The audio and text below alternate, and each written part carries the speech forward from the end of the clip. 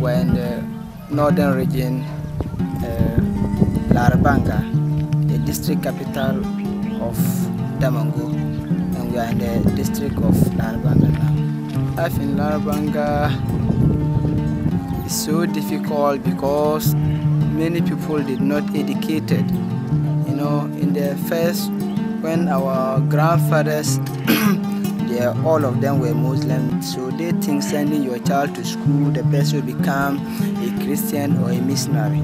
So they did not allow their children to go to school. So we used to walk from Larabanga to Moli to attend our JHS, which is very difficult. Sometimes animals may even chase you away or rain will even wet your books and all your uniform will get wet, you come back. Allah